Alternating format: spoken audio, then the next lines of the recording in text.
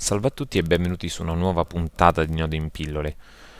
Nel video precedente eh, abbiamo visto come è possibile eh, diciamo, creare una serie di rotte per eh, fornire e manipolare una risorsa eh, dinamica. In quel caso abbiamo eh, simulato la risorsa attraverso l'utilizzo di un array.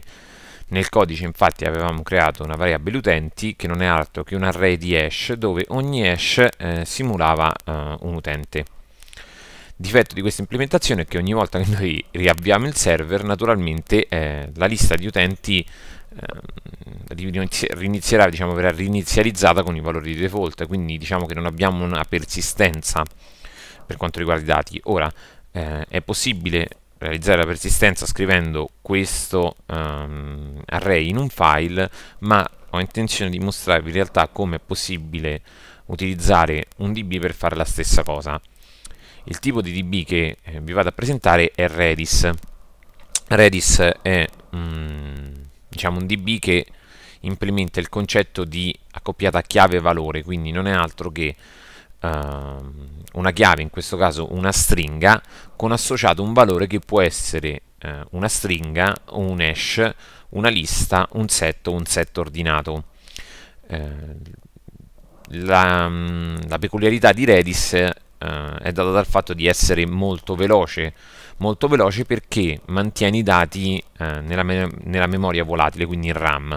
Questo è anche un difetto perché logicamente tenendo tutto il DB eh, in RAM, all'aumentare del DB eh, aumenterà anche la RAM occupata e quindi dovremmo valutare bene eh, quanti dati mantenere in questo eh, DB. Altro svantaggio è il fatto che la memorizzazione dei dati ehm, viene, diciamo, mm, la persistenza vera e propria, se così possiamo chiamarla, viene effettuata facendo delle copie del DB di tanto in tanto sul, uh, sull'hard disk. Quindi nel caso di uh, crash, nel caso di problemi, l'ultima porzione uh, di dati inseriti potrebbe non essere stata salvata se non è stato fatto nell'immediato uno snapshot, quindi un salvataggio su disco. Comunque, per eh, farvi il primo esempio basta avanza Redis. Cosa dobbiamo fare per utilizzare Redis? La prima cosa che dobbiamo fare è installare Redis sulla nostra macchina. Io lo faccio tramite il mio packet manager eh, della mia distribuzione e voi potete seguire le istruzioni che vi sono nella voce download eh, di, eh, della pagina di Redis che è redis.io come potete vedere qui. Ora una volta installato Redis dobbiamo avviare il server eh, Redis e lo facciamo, io lo faccio sempre con gli strumenti della mia distribuzione. Ok, il server Redis è partito. Come possiamo vedere, come possiamo vedere se Redis è installato correttamente e se sta funzionando. Uh, lo stesso Redis ci mette a disposizione uh, un client da linea di comando che si chiama Redis CLI, quindi utilizzando Redis eh, CLI possiamo vedere che ci siamo appena connessi al server Redis che è in ascolto sull'interfaccia eh, di loopback della nostra macchina con, e sulla porta 6379, porta di default per quanto riguarda il server Redis. Ora vorremmo muoverci da qui e, e magari dare qualche comando. Um, come vediamo se noi diamo help Ehm, ci consiglia di utilizzare il tab per ottenere la lista di tutti gli help topics.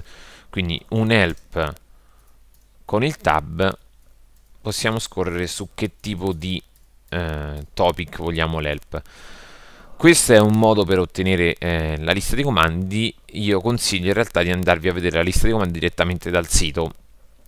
Um, per prima cosa andate sul mm, punto menu comandi e eh, trovate selezionato la, la, voce nel sottomenu all quindi vi farà vedere tutti i comandi. È un po' fuorviante andiamo un attimo sulla voce key. La voce key ci permette di eh, vedere tutti i comandi che riguardano le chiavi. Quindi se volessimo vedere se vi sono in questo momento chiavi all'interno del db dovremmo usare il comando keys con il pattern da, eh, da cercare. Quindi se io adesso digitassi keys e il pattern usassi eh, l'asterisco dovrei trovare tutte le chiavi. In realtà ciò che mi viene istituito è appunto che eh, non c'è nessuna, mm, nessuna chiave. Volendo inserire una chiave, eh, dovrò andare a fare la ricerca che, che voglio all'interno del sottomenu col tipo di valore che voglio associare a tale chiave. Esempio stringa, oppure hashes, oppure lista, eccetera, eccetera, eccetera. Uh, se voglio utilizzare stringa mi basterà utilizzare il comando append seguito da chiave e valore. Quindi se volessi aggiungere una stringa dovrei utilizzare append seguito da una chiave non lo so utente 1 seguito dal valore uh, Luca. Perfetto. Quindi in questo momento sembra dal risultato che qualcosa sia avvenuto. Se riprovo a dare il comando keys vede effettivamente che c'è eh, un utente 1, eh, quindi un, uh, una tupla composta da una chiave. Come faccio a vedere nel valore? Eh, basta che uso get, che dice appunto get eh, chiave, per ottenere il valore di una chiave. Quindi tornando di nuovo di qua, provo a fare get di utente 1 e vedo che il valore è Luca. Ma passiamo a utilizzi più interessanti di eh, questo DB. Vediamo magari come eh, diciamo inserirlo, utilizzarlo con mm, Express. Per uscire da questo editor usiamo exit. Sono all'interno del eh, progetto che avevamo fatto nella puntata precedente.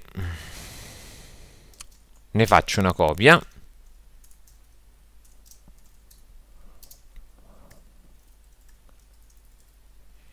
ok. Entro all'interno della copia. E la cosa che devo fare è abilitare questo progetto all'utilizzo di, di Redis. Come facciamo con Node.js a collegarci a Redis?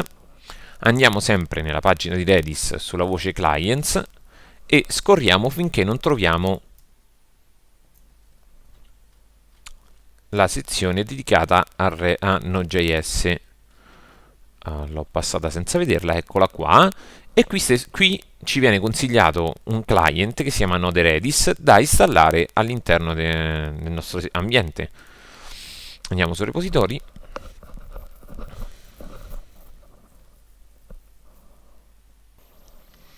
E vediamo che eh, per utilizzarlo basterà dare un npm install redis nulla di eh, particolare, sappiamo già che cosa fa.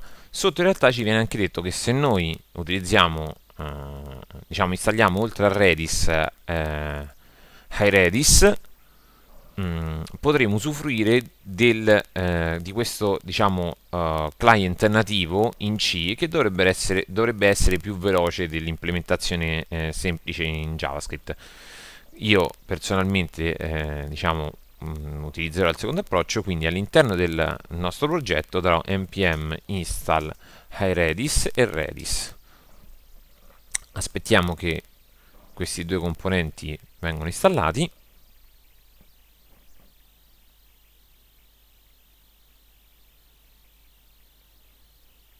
Ok, adesso andiamo ad editare il nostro progetto vediamo. Ok non è questo ma è, quest'altro.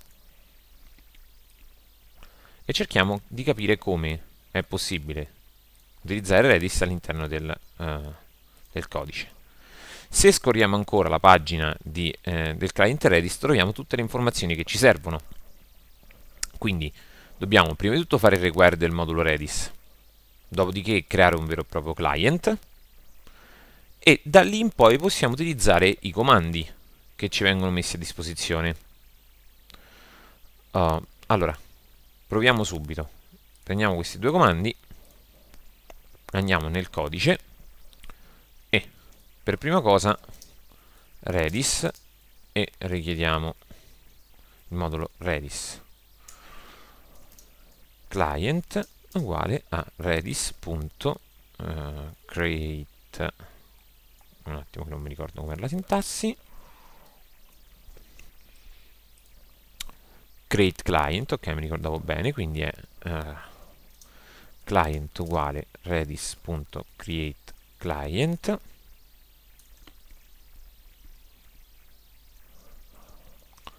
e in questo momento dovremmo esserci collegati al nostro Redis. Proviamo a dare un semplice comando eh, all'avvio del della nostra applicazione per vedere se tutto ciò ha funzionato. Come facciamo? Semplicemente in fondo, prima di, eh, diciamo anche dopo di questo console log, prima quando volete, proviamo a fare un'interrogazione al eh, server Redis chiedendo tutte le chiavi.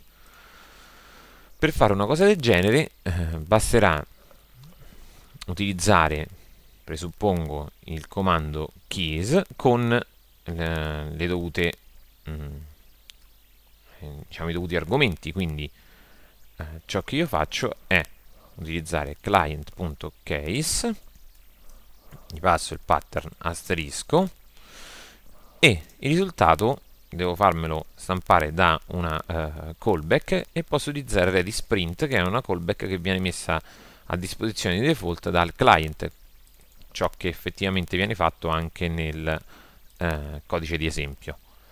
Avviamo al volo il nostro server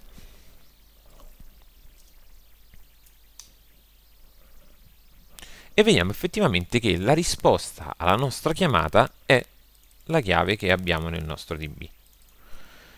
Per questa volta è tutto, eh, vi ho fatto vedere come installare Redis, vi ho mostrato che esiste un client eh, da riga di comando, sapete dove trovare i comandi eh, per eh, giocare con Redis, cioè li avete eh, nella, eh, nel menu Commands all'interno della pagina di Redis.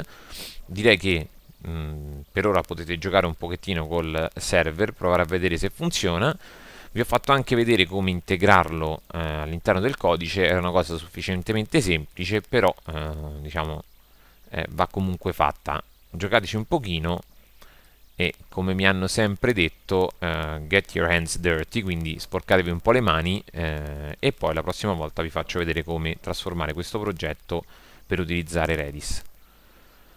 Uh, ciao a tutti alla prossima